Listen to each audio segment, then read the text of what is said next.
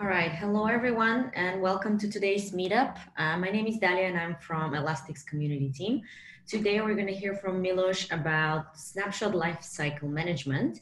Um, this meetup will be recorded and uploaded uploaded to the Elastic YouTube channel, so you can watch it afterwards again there. Um, and we're always looking for speakers, so if you would like to speak at one of our meetups, uh, you can always let us know. Uh, so please, Miloš, take away from here. Thanks, Dalia. Uh, just a quick check if everyone is able to hear me. Um, thanks for the intro and welcome everyone to the meetup. Uh, I'm going to introduce myself briefly. Uh, so my name is Miloš, as Dalia mentioned, and I'm based out of Amsterdam, Netherlands. Um, I'm a part of Elastic for a bit more than a year and a half now, and uh, I work as an education engineer, which means that most of my time I'm spending teaching uh, students and users of uh, Elastic Stack on different topics, anything ranging from Elasticsearch itself and other parts of the stack, all the way up to different solutions that are based on the Elastic Stack. Uh, my background is in software engineering and I used to work for different startup companies as uh, mostly, well, primarily developing APIs, microservices, and then moving a bit more into natural language processing and machine learning. So this is a brief intro. And uh, today's topic will be snapshot lifecycle management. So we're going to talk about this because generally when we work with data, safety and security is one of our biggest concerns. So of course, uh, especially in production environments, we do want to make sure that we don't lose the data and of course that no one uh, who shouldn't have access to it does not have access to any kind of sensitive information. And when we talk about safety and security, um, we often need to worry about a few different things. First of them being hardware failure. And um, that, that is something that we can solve with data redundancy. Now, data redundancy, generally speaking, can be solved with RAID configurations, where we simply increase the number of disks or we increase the storage where we're going to uh, keep our data and store redundant copies of data in order to prevent any kind of hardware failures. Now, before we move on, I'm just going to emphasize that we're going to cover some basics here. We're going to do a brief intro on why do we even talk about snapshot lifecycle management. And then we're going to do one fairly long demo where we're going to see all of the capabilities. So when we talk about data redundancy, uh, in Elastic Stacks, more specifically Elasticsearch, data redundancy or high availability is implemented through software. So we can always talk about shards and primary and replica shards that are spread across multiple nodes. And this helps us sustain any kind of hardware failure.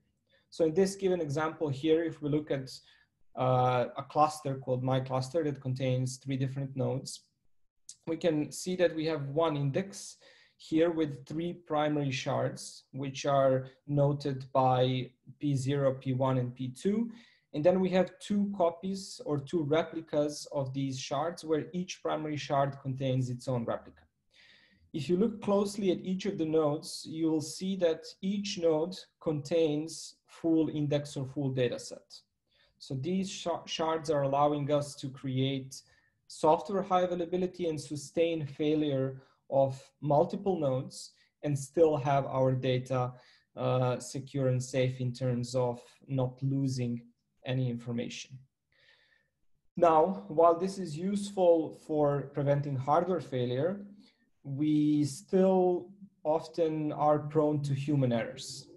And simple example is you can have as many replicas as you can, and you can have as many nodes inside of your cluster as you want but it's enough for someone who has admin access to issue a simple comment, delete, and then index name, and all of your production data can be lost. Okay, so simple saying delete index name production underscore data will get rid of everything that exists in all of those primary and replica shards. And this is something you don't want to sustain because you lose everything. So for that reason, you often think about backup options. And backup and replicas in the context of Elastic Stack uh, are something, are two things that we need to do and want to do very often. and then when we talk about security, of course, it is a completely different game. So there we're not talking about preventing data to be lost, but of course it is very much connected to being prone to human errors. So who is going to have that access? Who is going to have permissions to be able to delete indices and so on? And this is not going to be the topic for today. It will be a topic for maybe another meetup. So one of the solutions is of course, elastic security. And uh, it is also a free solution in terms of it comes as a part of basic license, or at least some parts of elastic security come as a part of basic license. Uh, but today's focus will be on backup. And when we talk about backup in the context of Elasticsearch, we implement backup through a mechanism we call snapshot and restore mechanism. This mechanism allows us to create frequent snapshots or backups of our cluster, more specifically, all the data we have in our cluster, so all kind of data streams and indices, as well as cluster states. For the ones who are not too familiar with the cluster state, cluster state simply contains all of the information about our cluster, things such as how many nodes do we have inside, how many indices we have inside, um, where the shards of these indices are allocated, and then of course any kind of templates or settings that we applied that are persistent settings. So the ones that are supposed to be stored somewhere and survive any kind of full cluster restarts. Snapshot and restore, restore mechanism also supports various repositories. So the question arises, where do I actually keep my backup? And file system is going to be one of them, something that we're going to use for the purpose of today's demo. But of course, we also support various cloud repositories such as S3, HDFS for Hadoop, uh, Azure storage, or Google Cloud storage as well. Uh, eh, when we go through the steps, we're going to see how to register or pick these repositories and then how to start the whole process of taking snapshots. We will be able to do this through two different methods, so API and Kibana. API is something that is always an option, so you can simply send HTTP requests to your Elasticsearch REST API and configure the repository, configure taking snapshots, and configure that uh, snapshot lifecycle management policy that we're going to talk about.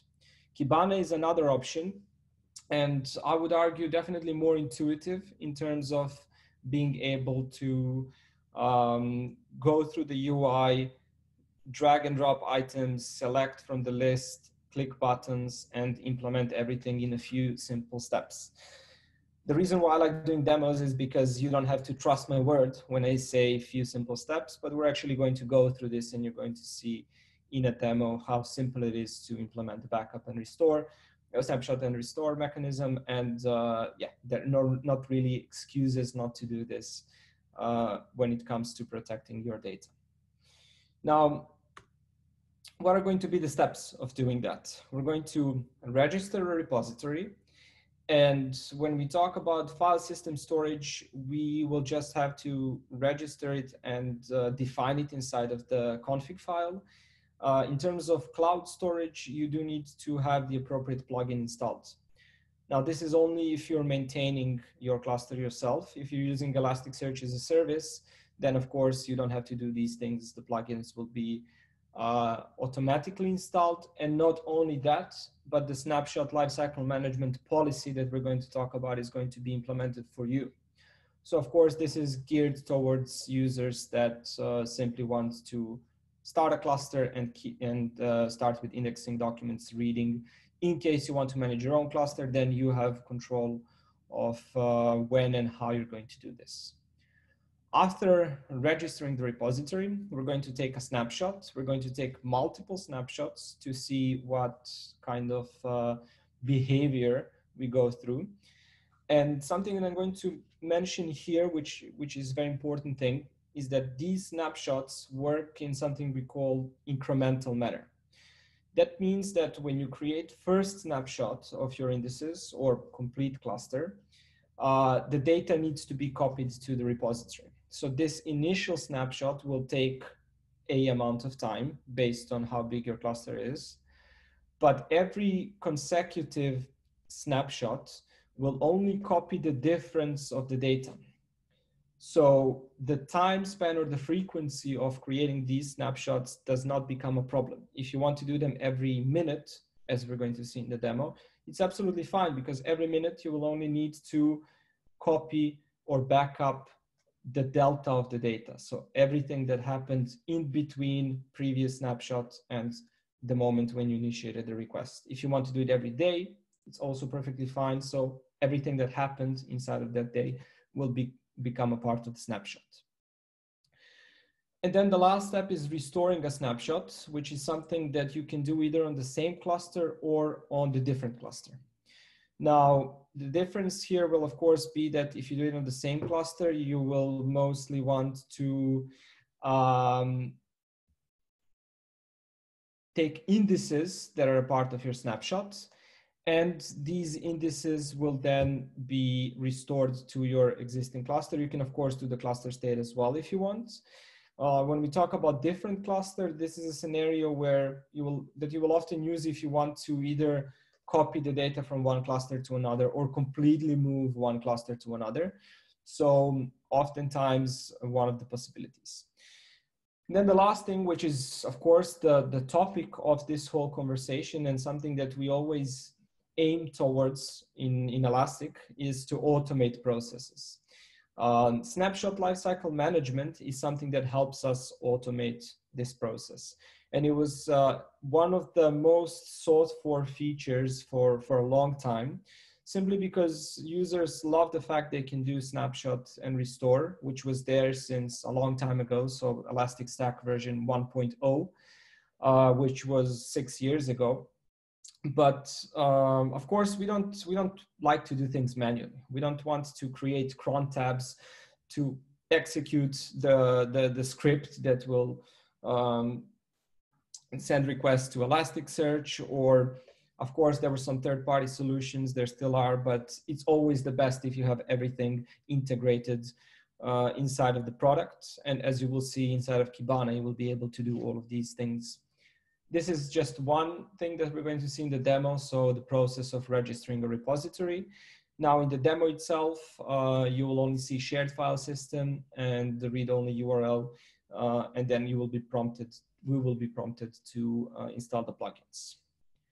So before we go to demo, uh, just a couple of quick things uh, with regards to snapshot lifecycle management. So it is available from version 7.6 of the Elastic Stack. And um, on top of things that you can regularly do with uh, snapshot and restore mechanism, uh, you can use snapshot lifecycle management to set snapshot frequency, to set snapshot retention. So very important thing in case you don't want to pay for an additional storage. So we're going to do things such as keep these uh, snapshots for an amount of time and then delete them or at least keep a certain number of them always there.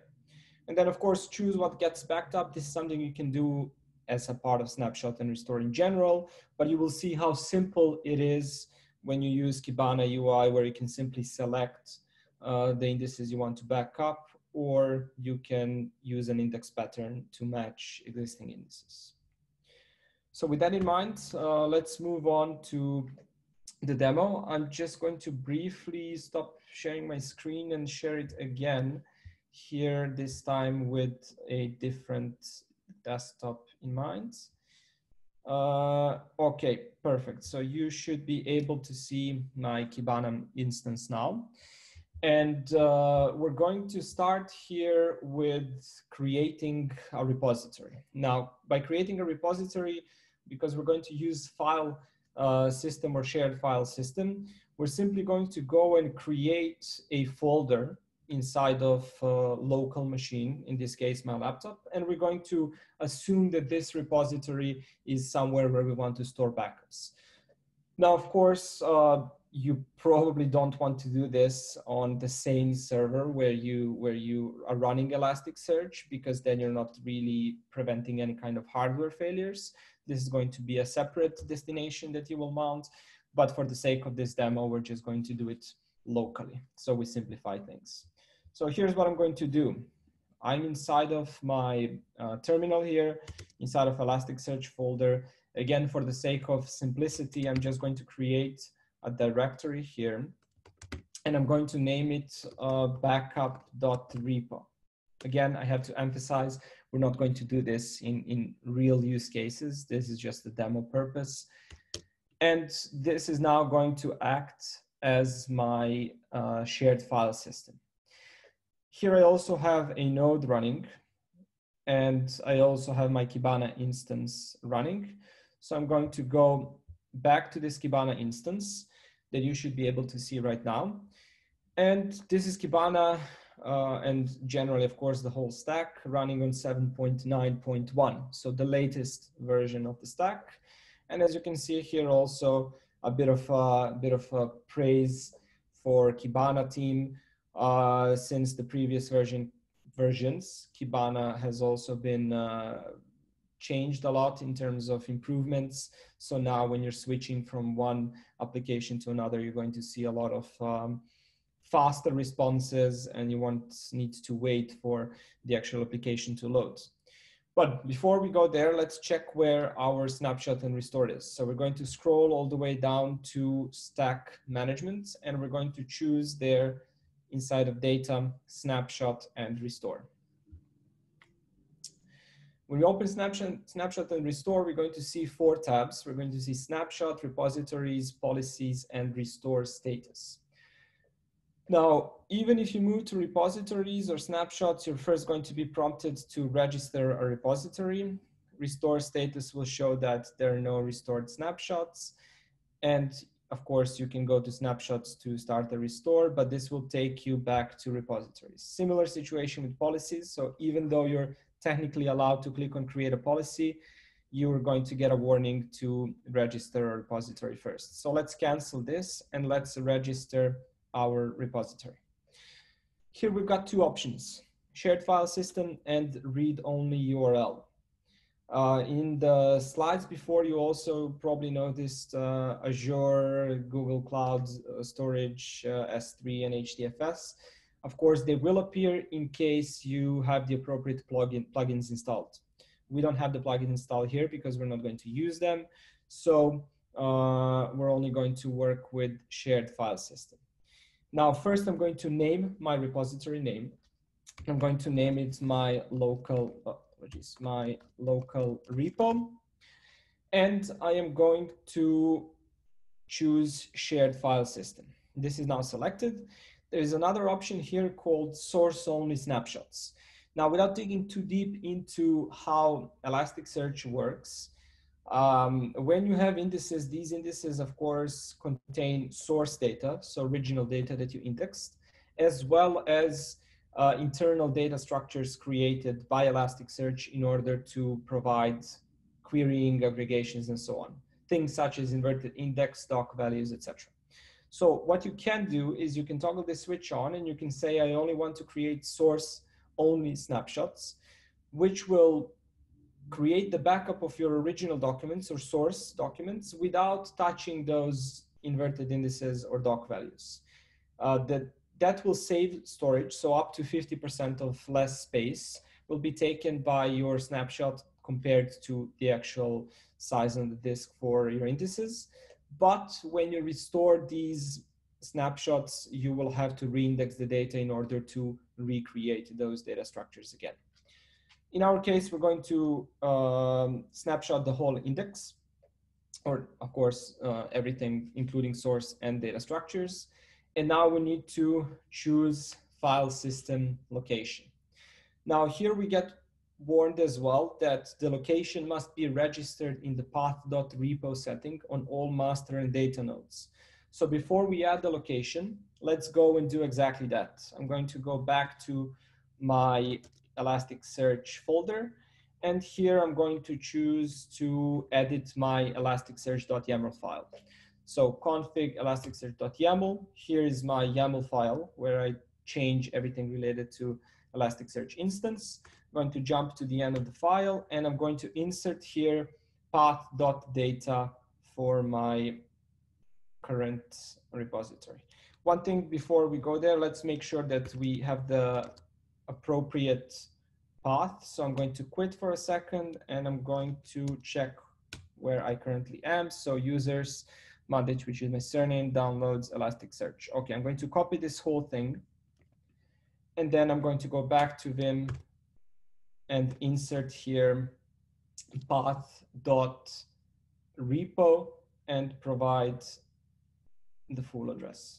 So path dot repo colon, and I'm going to say users all the way, and then what was the one that I used, backup underscore repo. Okay, so this should suffice. Now, of course, again, here for the sake of uh, demonstration, we're using one node cluster. In your production environment, you will have to go to every master and data node and do this, um, ideally using some sort of configuration management tool. So as soon as you scale to a certain number of nodes, you will definitely not go every single time to config and change everything uh, in a node. So maybe you're going to use Ansible or Chef or Puppet to uh, automate this whole process. Now, again, every time when we change configs in Elasticsearch, we have to restart the node. So what I'm going to do here is I'm going to stop my node and I'm going to run it again. So let's wait a few moments to make sure the node is up and running, that Kibana is able again to connect to this node, and then we can proceed with registering our repository.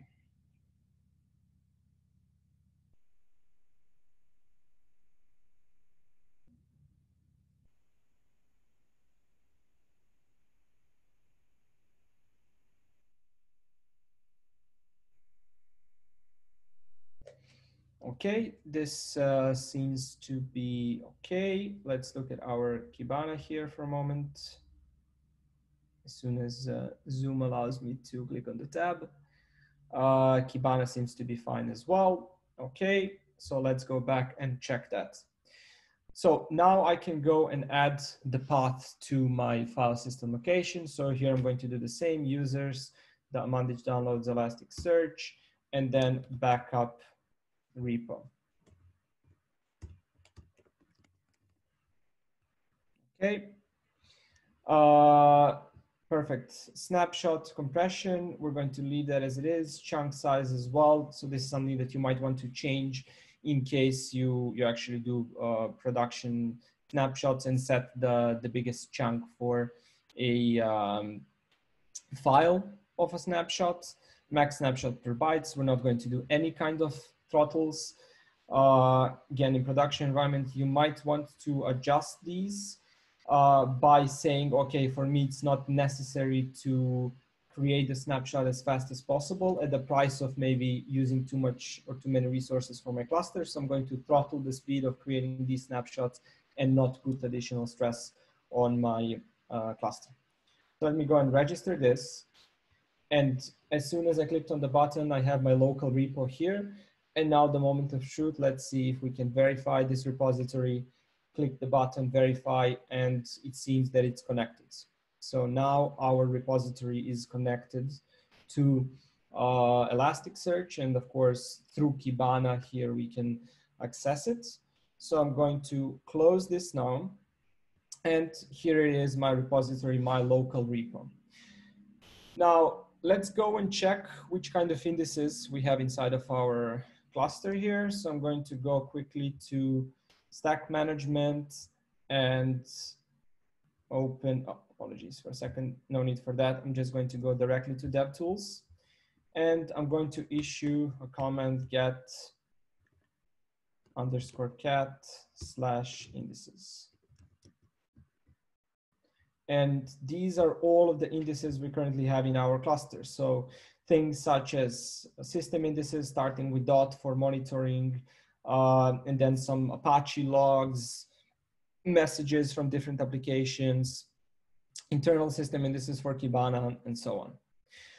What is going to be of interest to us is this index called blogs.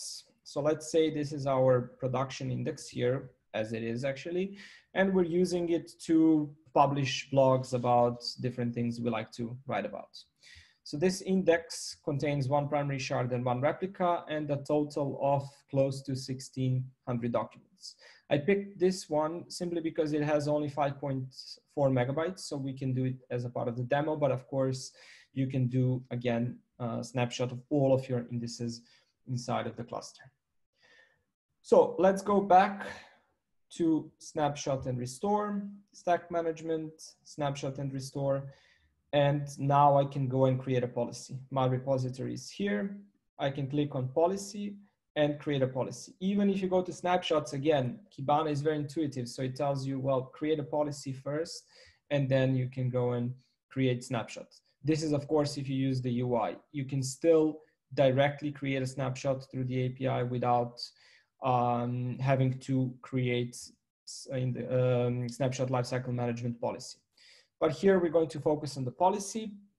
So we're going to start with policy name. So again, Kibana is conveniently guiding us through the steps.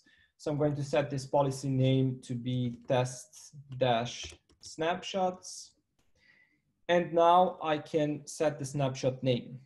Now, Elasticsearch will automatically add unique identifier to each name, of course, to differentiate snapshots from each other, but you can also use date math expression uh, to make it convenient for you as a user to understand when the snapshot was made. So here I'm going to say, okay, I'm going to name this as test snapshots. And then I'm going to use date math to say, just tell me what is the current time and day. Okay, repository, as you can see here, we're going to move this to the side or to the bottom. My local repo, so the only repository that is registered. I, of course, I can jump to repositories and uh, add additional ones if I want to. And then schedule, how often do I want Elasticsearch to take snapshots for me? Of course, depending on your needs, you're going to change that from every day or week or hour or minute. But remember that because they're incremental, you're not really losing anything in terms of performance. So here, let's do the following. Let's schedule them every minute so we see how they actually get generated. You can do that through cron expression as well, if that's your preference, or through simple basic intervals, so every minute. Once I choose every minute here, the cron expression is created for me anyways. Okay, now I can, I need to keep Oh, maybe I can minimize it completely. Yes, much better. Okay, so now I can go and click on next. And what do I want to now snapshot?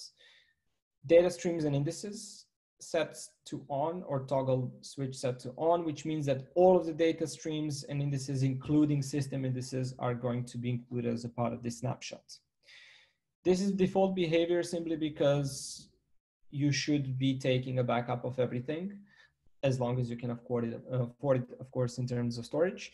But here again, for the sake of the demo, I'm going to say, well, I don't really need the backup of everything. So I can either select or deselect specific indices, currently 66 of them. So I can deselect all and then choose at least one of them. They're also sorted, so I can just scroll down until I get to blogs. Or I can use index patterns and say, well, actually, let me just do blogs and that's it. Okay, so only blogs index are going to be included as a part of that snapshot. We have a couple more settings, include, include unavailable indices. So in case any indices are not available in the cluster, uh, if we leave this as off, the snapshot taking is going to fail.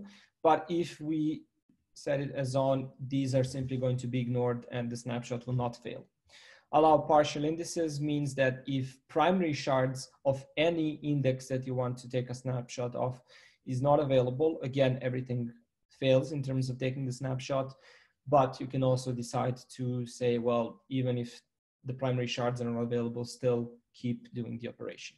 We're going to keep these two as they are and then include global state is what we mentioned before in terms of the cluster state. I'm going to include cluster state and blogs index. I move on to the next step. And now this is snapshot retention. So snapshots are going to be taken every minute.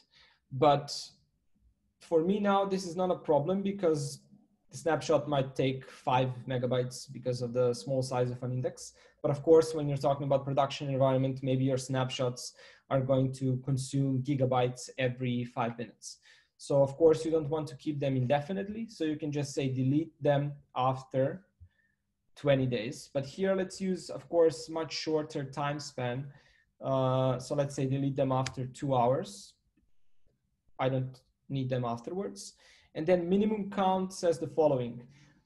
Even if they expire, I want to have always at least three snapshots. So even if after two hours, uh, you're supposed to delete them because of the expiration, Elasticsearch is supposed to delete them, I still keep the three of them at least and the three most recent ones. Maximum count, let's say we do 20 and we can put minimum count 10. So maximum count simply means, okay, if you keep creating snapshots and you have more than 20 and they didn't expire because they we created them within two hours, still delete them because you reached the maximum count. Okay, and now when we click on next, we we are going to review this policy. So policy name is fine, snapshot name is fine, repository is fine, schedule is fine. We only want to snapshot blogs. We want to include cluster states and everything seems okay. So I'm going to create this policy and policy is immediately created. We can close this window and we can now see repository and policies. Now this policy is going to work in such a way that snapshot will be triggered every minute. If I go to snapshots here, I'm not going to see any snapshots yet. But of course, I'm allowed to trigger this policy myself on the go. And the reasons can be multiple. Uh, first, maybe I need to test it now. Or second reason is you're doing some maintenance in your cluster and you want to do snapshot just before the maintenance starts so you don't need to um, you don't need to wait for the actual snapshots to be taken. So let me go back to snapshots here and you can see that already the first one has been created automatically. I didn't click on this run now. Snapshot is created, test snapshots 2020 09 09 and then unique identifier. I can click on the snapshot and I can see nothing failed, version that I'm running on, UUID, snapshot complete, include global states, indices, start time, and so on and so on. Okay, I'm going to go and create one myself. So let me run this policy now. I'm running the policy, going to snapshots. Now I have two snapshots. Remember, they're incremental. So when the first one happens, data for blogs index was copied. And now every consecutive uh, snapshot is only going to copy the difference of the data. Now, of course, here we're not actively indexing, so we're not going to copy any data with regards to index, but cluster state gets uh, updated as we create these snapshots. Now, we can give it a few moments here, maybe to wait for another snapshot to happen. And here it is, another snapshot happened, one minute passed. So we can just see how these snapshots are getting created and so on. Let's do one more thing, just from a technical perspective. I want to show you what you can find in the folder itself. So this is my backup repo or the repository where the snapshots are stored. So let me open that uh, backup repo and here's what I find inside. So we've got snap DR7, Snap GVN, Snap U63. So snapshots that are being taken are uh, stored inside of this uh, repository as well as metadata about these particular snapshots and then indices and so on. So everything is stored inside of this repository. And now I'm going to go back. Probably by now we have another snapshot so I can reload it Yes, now we have four. So as you can see, they keep getting created every minute. Okay, let's do one more thing. Let's actually see how we can use these snapshots and how easy it is to restore. So I'm going to take a leap of faith now, and I'm going to go to my DevTools here and execute this request again. So my index blogs is here. So what I'm going to do now is I'm going to just get rid of it. I'm going to delete it by issuing a command delete blogs. Okay. and we run this acknowledged true. And now I'm going to check it again. It's not there. So how do we fix this problem now? The data is gone. So I'm going to go to stack management. I'm going to choose snapshot and restore. And I'm simply going to pick any of these snapshots. Of course, if I take the first one, I will restore the data as it was a few minutes ago. If I take the last one, I'm going to restore the data um, as it was when the snapshot was taken. So yeah, let's pick any. We have this button here, so I can go and delete snapshots, but I can also go and restore from a snapshot. So I'm going to click on restore here. And this now takes me to a prompt of what do I want to restore. So all data streams and indices, including system indices. In this case, this is of course only blogs index, so I can keep it on. Rename data streams and indices. So in case I want to restore from a backup inside of my cluster, but then I want these indices to be renamed so they don't overwrite existing indices, I can set up a pattern and say everything that is blogs inside of my snapshot, restore it as blogs underscore restored. I don't want to do that because I don't have blogs index.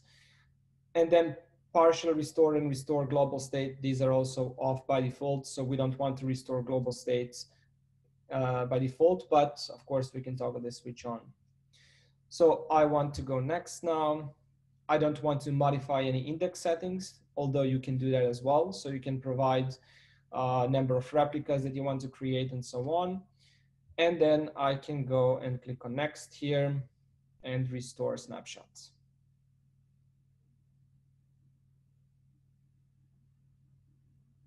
Okay, restore status complete. Index blogs, I can click on it. I can double check it took one second uh, from repository, my local repo, target host, local host where my node one lives. And everything seems to be fine, but let's go and double check that, of course, by going to DevTools and checking indices. And thankfully, our blogs index is there. So we can go and also do get blogs to check if everything's fine in terms of mappings or do a simple search request and make sure that the documents are still there. Now, of course, by now, you're going to notice that inside of snapshot and restore, we probably have a few more uh, snapshots being created. And you're going to notice another interesting thing. Uh, due to the fact that we didn't have blogs index for a while, and that index was the one that was supposed to be included as a part of the snapshots, we have a bit of a gap here. So from 638 until 641, we didn't have any snapshots. That's because simply snapshots were failing because index was not available. So for those three minutes, we didn't create any snapshots, but as soon as the index is retrieved, we keep creating snapshots um, as a part of this policy. Now, of course, you can go and delete manually snapshots and that will not cause any of the of other snapshots to fail. So this deletion policy is smart as well. Uh, despite the fact that I said that snapshots are incremental, you can freely delete them and internal mechanism will decide if it needs to delete any data with the snapshot or not at all. Okay, um, so this was a brief talk and brief demo about snapshot snapshot uh, lifecycle management. So I'm going to now go back to my slides here. Um, and yeah, this is, well, let's see how this is going to work. I think I need to enable. Okay, so this was all from me in terms of uh, demo and the presentation. So now we're open for questions. Uh, I'm going to stop sharing my screen here for a second. I believe uh, Dalia will either help us with the questions or I can just look into. Yeah, awesome. let's see, what questions do we have here? Oh yeah, we have chat here active. Uh, so question from Hane, how to back up config info? Uh, very good question. So I'm assuming you're referring to Elasticsearch YAML file because this is a file, it will not be included as a part of snapshot. So this is something that you need to do manually. Um, ideally, what we recommend you to do is not to keep that config file inside of Elasticsearch folder. So when you start your first cluster, uh, move both config files out of the folder as well as data. So data itself for Elasticsearch should also be outside of the Elasticsearch folder in case anyone deletes Elasticsearch or something fails during the update. So you do need to take care of that manually. Um, but every kind of cluster setting that was uh, executed through the API will be stored in the cluster states and it will be included as a part of that cluster states. Hope that answers on your question. Not sure if it's the answer you, you expected or hoped for, but yeah, it is something you need to do manually. Um, I'm curious now. I can finally see the the number of participants. So we've got nine people here. Uh, yeah, please shoot for any questions. Uh, I'm sure this is something that is interesting, at least to some of you. I know that uh, our users were very happy seeing that we now added this as a part of Kibana because finally there's no need for any third-party solutions. You can just do everything from one single console.